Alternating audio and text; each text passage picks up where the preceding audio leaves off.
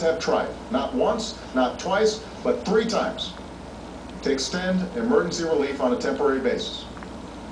Each time, a partisan minority in the Senate has used parliamentary maneuvers to block a vote, denying millions of people who are out of work much needed relief. These leaders in the Senate who are advancing a misguided notion that emergency relief somehow discourages people from looking for a job should talk to these folks.